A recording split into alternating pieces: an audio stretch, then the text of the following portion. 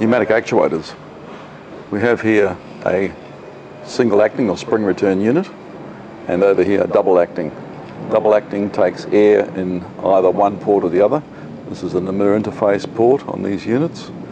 With the double acting we can put a Namur solenoid directly onto there or we can use a standalone solenoid and run the two air lines to either side.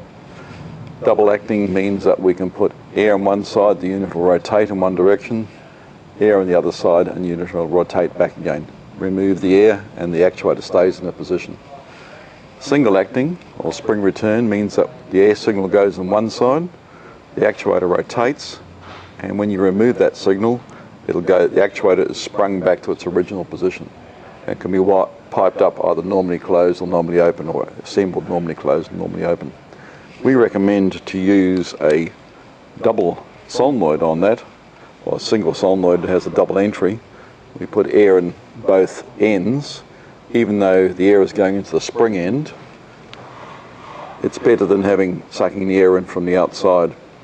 Uh, we recommend a port silencer to go in here and that allows the unit to at least stop dust being pulled into it as it's sucked back in.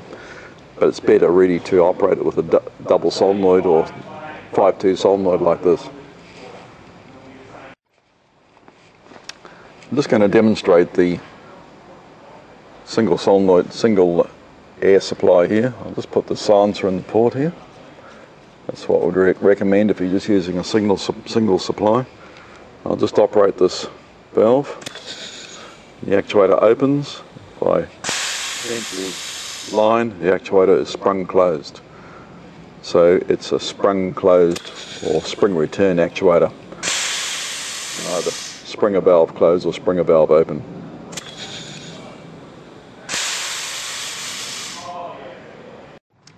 With the double acting actuator, I pipe this up so we can put signal into both sides. Operate in this direction. The actuator swings around and we remove the air supply and the actuator will stay where it is.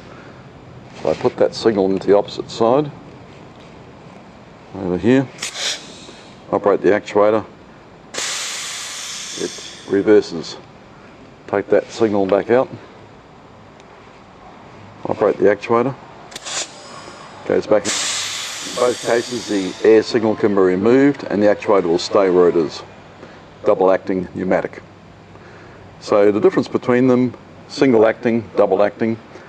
Single acting actuator is in fact a double acting actuator with springs. So you can put the air into the spring end as well, won't affect it.